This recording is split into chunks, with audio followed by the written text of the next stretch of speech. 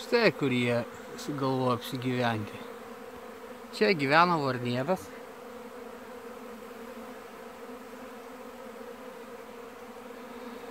Jo.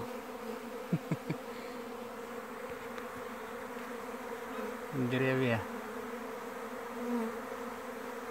Patiko.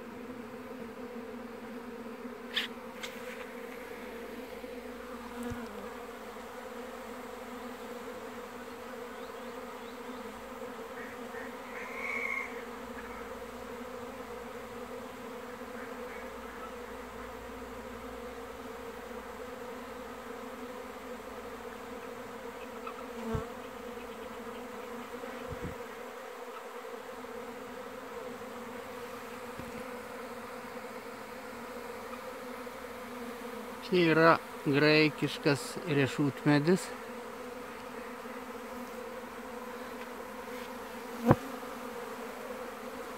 Ir atskrydo spiečius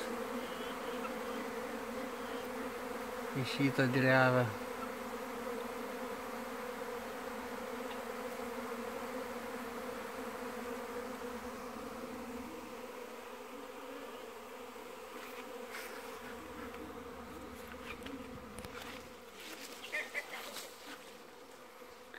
Mano žolė iškabinta yra spėtinė. Tai ne. Mhm. Ten obely dar yra.